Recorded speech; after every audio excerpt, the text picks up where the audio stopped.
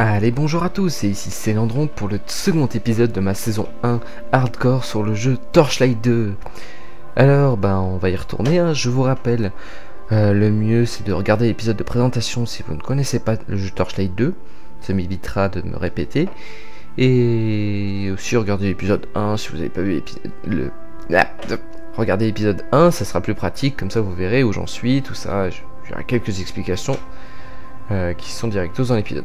Allez, on y retourne. Un joueur. Donc on se souvient euh, des points de compétence que j'ai pas encore mis. On voit qu'ils sont affichés directement. Hein. Comme ça c'est plus pratique, ça, évite euh, d'oublier. Parce que des fois j'oublie et puis je me rends compte ici il y a des points, des points de compétence que j'ai pas mis. Voilà. Allez, on y va. On se souvient, on, on devait aller vers l'enclave estérienne. Voilà, on y est. Donc, alors, il y a pas mal de choses, hein. je les ai présentées pour la plupart dans l'épisode de présentation. Et donc on va continuer la quête. Je vous remercie de votre avertissement, mais vous êtes arrivé trop tard. Cet alchimiste est déjà venu et est reparti. Et j'ai fait tout ce que j'ai pu pour éviter qu'il n'entre dans l'enclave. Mais il réussit. Beaucoup d'estériens furent blessés, et depuis le combat, de plus en plus sont malades. Nous ne sommes pas sûrs de ce qui se cause cela. Après l'échec de son assaut ici, l'alchimiste se dirigea vers le sud, vers les steppes du temple. Le commandant Val et ses conquérants sont arrivés peu de temps après et l'ont poursuivi, afin d'éviter de futurs dégâts. Ok, la récompense. Alors, euh, donc on voit la vitesse d'attaque qui influe bah, sur la vitesse d'attaque, les dégâts et les capacités magiques. Alors le mieux, moi, ça serait des items à une main. C'est ce qui est le plus puissant en fait au final. On va prendre ça, ça c'est bien. Le commandant Val pense que l'alchimiste peut attaquer le temple de la source, afin d'atteindre le gardien de l'eau. Dans un but néfaste, je le crains. Il n'y a pas eu de nouvelles de la part de Val ou du gardien. Explorer le temple de la source et déterminer si le gardien de l'eau est en danger. Voilà, quête acceptée, protéger le gardien. Donc, alors, au niveau de l'équipement, toc, on va voir ce qu'on peut faire. Alors, j'ai pas mal d'objets bleus, donc supérieur aux objets verts au niveau rareté. Mais c'est pas ça qui va m'aider. Alors, quand il y a une croix, ça veut dire que je peux, je peux pas encore l'équiper. Alors c'est vrai, j'avais un mystérieux bâton, mais le problème c'est que les bâtons, euh, pas vraiment pour moi. Alors, les polières. 5 d'armure électrique, 1 de focus, 1 d'armure physique, 3 d'excellité, 2 en force. Euh... Voilà, ça passe encore. On va dire que là, c'est bon. Donc tout ça, je peux pas équiper. On verra quand je pourrai. Hein. Ça, hop, on équipe parce que c'est vert par rapport à ça qui est, sans couleur. Ça, on l'équipe. C'est mieux. C'est la même arme. Celle-là et celle-là, c'est la même arme. Donc, euh, ok. Alors là, j'ai euh, un enfichable en gros, c'est pour mettre dans les, dans les emplacements de gemmes. On voit que j'en ai certains sur, quelques équipements. Là, j'en ai 3. Et donc, on va prendre. C'est euh, armure bijoux plus 8 d'armure de glace, arme plus 7 de dégâts de glace. Bah, c'est que pour les armures. J'ai que des trous dans les armures. Et hop, on a monté l'armure de glace. Donc, donc, donc. Bah, je pense que c'est bon. J'ai rien d'autre. Je vais juste regarder. Ouais, c'est. Ces deux pistolets sont quand même plus forts que celui-là. Voilà, c'est mieux. Donc, on va vendre. Avec la touche Shift, ça va plus vite. Ça, j'ai dit que je vendais. Euh, ça, ça, bah, c'est une arbalète à deux mains. À la limite, on va la garder. Je vais l'équiper directos. Voilà, vous avez possibilité d'équiper de deux équipements différents. Là, vous voyez, je suis avec les deux mains. Et là, je passe comme ça. Je suis... Voilà, c'est plus rapide. Ça a l'air d'être plus lourd avoir plus de portée. On verra bien si on le prend. Moi, ça peut être pas mal. Ça peut être pas mal. Je sais pas si on va le garder. Je vais virer le bâton, ça me sert à rien. Le gros canon de la mort qui tue. Euh, moi, j'aime pas les armes qui sont lentes. Hop, on va virer. Les épaulières. Je me tâte un peu. Ça, je vais garder parce que j'ai pas des super bottes. J'ai pas de casque. Regardez ça. Le bâton, le bâton. Hop, j'identifie. Euh, évidemment, c'est pour les magos. On voit, c'est des trucs de focus, de vitesse de sort, tout ça. Hop, on va virer. Alors le casque, j'ai pas encore regardé. On va rester là-dessus. Et comme ça, dès qu'on arrivera à atteindre les, bonnes caractéristiques, on verra pour l'équipement. Alors, je voudrais juste acheter... Ah non, ça c'est des armes et armures. Euh, de marchandises. Voilà. Les pare-chocs d'identification. Hop, on va en acheter comme... J'en ai combien là? Ah, c'est écrit trop petit. 9. 10, voilà, c'est bon. Des popos de vie. Ça génère combien? 900 points de vie. J'ai 360. Ouais, on va en prendre un petit peu. Voilà, 10 popos de vie, ça devrait aller. Ensuite. Alors, toi, t'es qui? Ah oui, c'est vrai. Alors, lui, c'est l'ajout... Euh, c'est un ajout qui est fait par Synergie, je crois. Euh, pour réinitialiser les points de compétence, il y a une, une potion. Et euh, c'est pour une zone supplémentaire, on dirait. Voilà, je n'ai pas encore trop exploré. Excusez-moi deux secondes. Voilà, je reviens. Excusez-moi, il y a ma soeur qui s'est invitée dans la vidéo. Euh, donc, alors, il y a deux portails. Ça, c'est un, portail pour faire du leveling, qui est incorporé par le mode synergie. Et là, il y a le portail pour euh, The Eternal Realm. C'est le donjon sans fin. C'est le, c'est ce qui est rajouté par le mode euh, Endless Donjon. Alors, il y avait une quête ici, voilà. Oui, éclaireur conquérant. Si vous allez en direction des steppes du temple, vous pourriez m'aider. Les Sturmburn ont construit une forge de fortune là-bas, et ils ont deux forgerons qui fabriquent des armures pour les bêtes de guerre sauvages qu'ils ont capturées. Ces Sturmburn semblent travailler à partir de schémas, mais ils les gardent sous clé. Pensez-vous que vous pourriez aller là-bas et prendre les schémas d'armure? Et bien sûr, mon gars. Hop, l'armurerie des bêtes de guerre.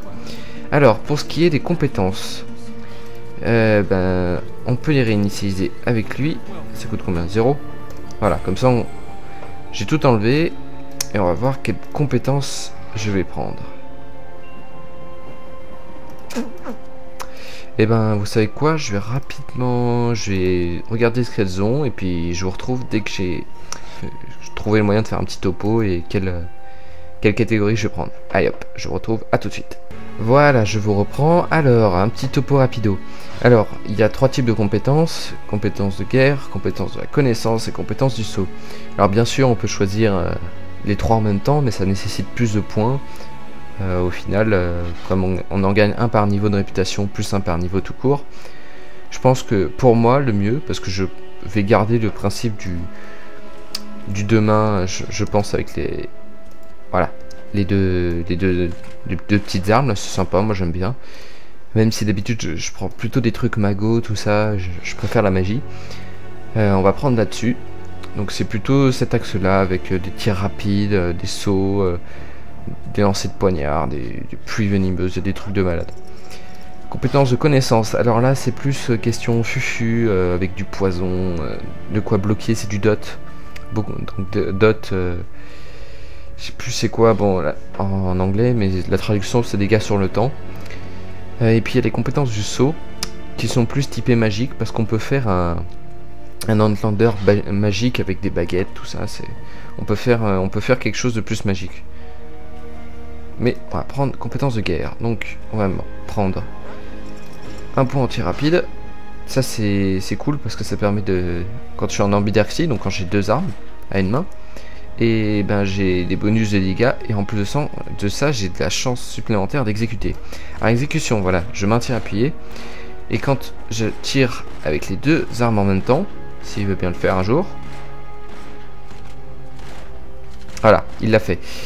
Euh, ça fait un super gros dégât de la mort qui tue. Donc je pense qu'on va partir avec ça. Voilà. Vous voyez, euh, le prochain point, je peux pas le mettre en niveau 7, donc c'est assez limité. Euh, et qu'est-ce que je voulais mettre?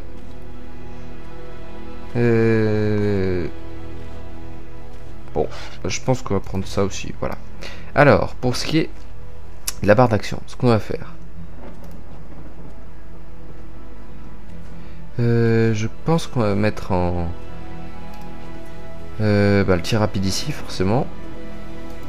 et ici, on va mettre rafale du chaos. Là, on va virer parce que ça me sert à rien. Et là, le waypoint, donc le portal pour revenir en ville, c'est bon. Alors, le coin de pêche, je vais en parler rapidement. Alors, on va essayer la rafale du chaos. Oh, ça m'intoche. Et ça, oh, c'est cool. C'est un... C'est un truc canalisé. Par contre, du coup, il va me falloir plus de mana, donc je vais monter mon focus. Non. Voilà, faudra que je monte ça aussi. Alors, le coin de pêche. Je vais vous montrer. Euh, dans l'épisode de présentation, normalement, si je me souviens bien, j'ai montré la pêche. Donc c'est très facile. Vous avez vu la bulle, dès que c'est au milieu, on appuie. Donc là, j'ai attrapé une perche chacal. Et si je le donne à mon familier, voilà. C'est devenu un truc... Ah, j'ai zoomé un peu plus. Un truc un peu moche. Un chacal. Ouais, c'est ça. Voilà, voilà. Bon, bah, désolé, l'épisode n'était pas très combatif, on va dire. Mais bon, c'est l'explication. On y va doucement. C'est de l'hardcore. On y va mollo. Il me reste combien de temps? 8 minutes. Ah, désolé, j'ai fait presque la moitié de l'épisode, voire plus. En explication, je vais essayer de me faire pardonner en faisant du bourrinisme. Voilà, il a un bouclier brisé. Et du coup, je peux tirer dessus tranquille. Alors Voilà. Bon, ça va, c'est facile avec ces...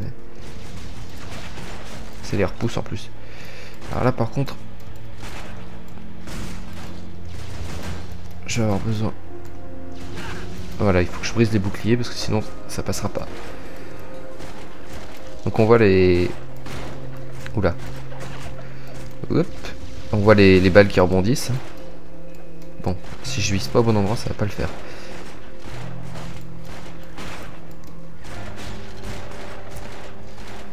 Voilà. Potion de vie. Oh, un champion. Oh, avec pas mal de PV en plus. Hein. Ah, ça va être chaud. Les marrons. Champion mort vivant, résiste au poison. Bon, ça va, il a pas l'air très rapide. Hein.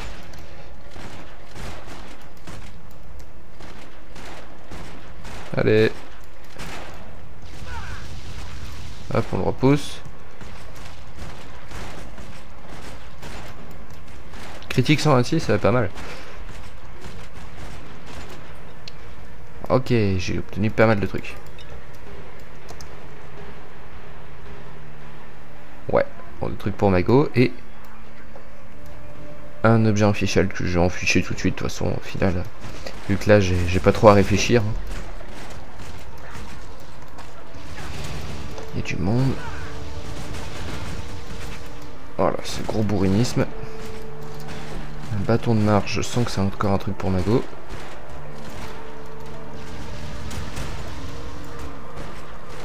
Lanceur féroce. Ouais oh descendez pas là-dessus hein.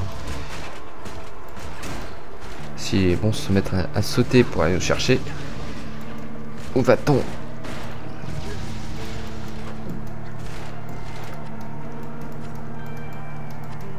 Voilà, je prends tout comme ça, je pourrais vendre rapidement.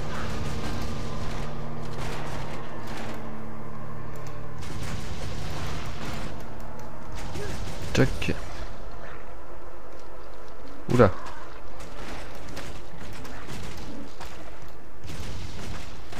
beaucoup de monde.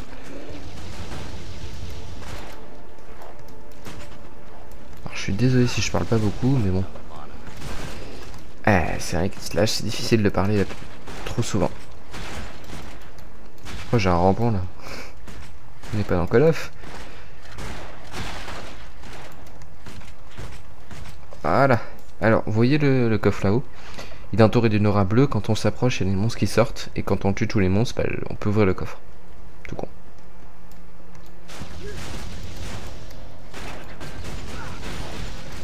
Ya. Prouch. J'ai bientôt monté niveau. Allez, je vais essayer de faire un pack de mobs. Les boucliers. Ça y est, niveau 4.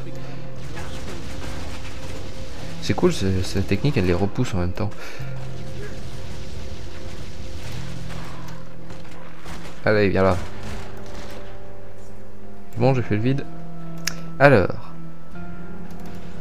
Deux points en dextérité, un point en force, un point en focus et un point en vita. Voilà. Un point de compétence qu'on va mettre. Euh, est-ce que je saute Ça peut être sympa? Je sais pas, je sais pas. Je peut-être. J'ai pas assez de, mana en fait pour tenir euh, suffisamment. Ouais. Allez, on va être ça directement. Hein. On verra bien. Oula Il y a un champion de la mort qui tue là-haut. Et on se fait canarder de là-haut alors que moi je peux pas les toucher. Je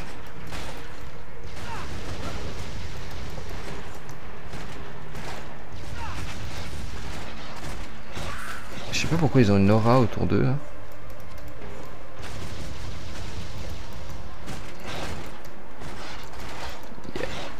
On va essayer d'aller chercher le coffre qu'on avait vu entouré d'une aura là. Comme ça vous pourrez bien voir. Pour ceux qui ne connaissent pas. Oh, il y a quelqu'un là. Juste... Oh, je suis trop loin. J'ai du mal avec l'appréhension des distances. C'est mon devoir de veiller sur les morts honorés, mais ils sont en colère et sont sortis de leur tombe. L'ascenseur de tranquillité devait les calmer une nouvelle fois. Mais ils m'ont attaqué pendant les combats, je les laissé tomber. Vous pouvez m'aider à les récupérer? Euh, Ouais, je suis d'accord, mais c'est pas une quête, hein, ton truc. Ouais, on va bien voir. Alors, j'étais parti pour chercher le coffre d'abord. Les morts se relèvent. C'était pas ce coffre là, mais oui. Je crois qu'il est plus haut. Il est par là. Ouais, c'est ça.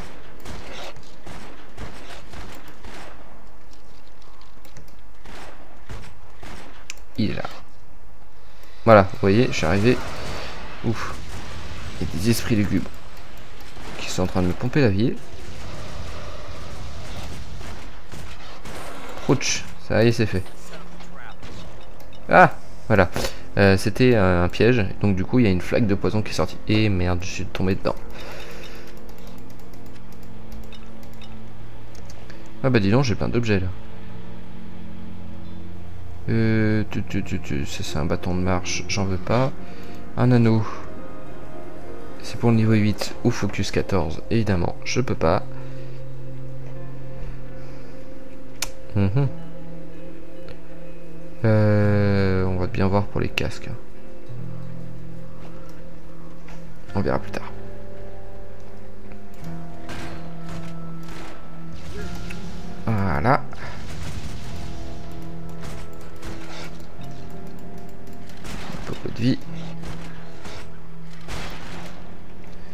Allez, un peu de challenge, c'est trop facile.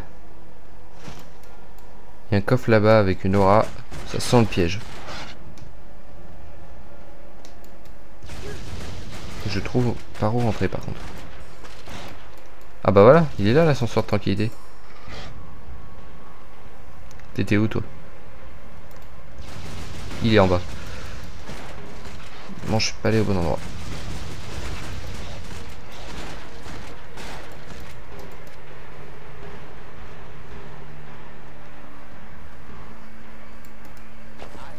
Vous avez retrouvé l'ascenseur de tranquillité, merci. Je peux utiliser pour envoyer de l'encens pour nettoyer la marque nécromantique du chemin des morts honorés. La volonté des gardiens qui voudraient laisser les morts honorés retourner dans leur tombe en paix. Mhm. La dernière phrase ne veut rien dire. Ou alors j'ai pas tout compris. Ah 20 minutes. On va juste prendre ça et puis j'avance un peu. Alors les médaillons c'est pour les pets, hein. ça permet d'augmenter le pet. Euh, un tromblon à deux mains pas trop mon truc, surtout que c'est une attaque lente. Euh... On va prendre le truc pour le pet. Hein. On va l'équiper sur le pet. Voilà. Donc, ensuite... Ah bah oui, c'est la fin de l'épisode. On va essayer d'aller chercher le coffre avant la fin. Allez hop. Je suis un fou.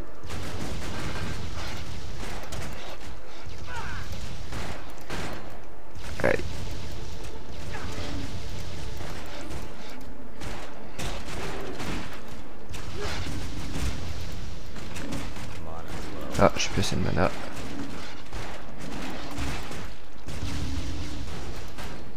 Pas que j'oublie de surveiller ma vie. Même si c'est pas trop dur. Ouais, c'était bien un piège. Ok.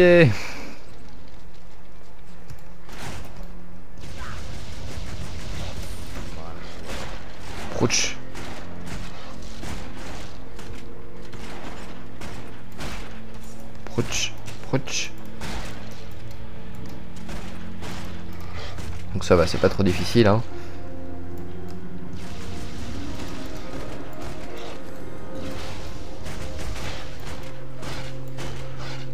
Ok, alors les items, les items, bah, euh, il a pas l'air d'avoir grand chose. Hein. Et ben voilà. Bon, bah on aura quand même un petit peu avancé. Je suis désolé s'il n'y a pas eu beaucoup de combats. Il fallait que je vous montre pas mal de trucs pour ceux qui, pour, connaissent pas le jeu. Hein.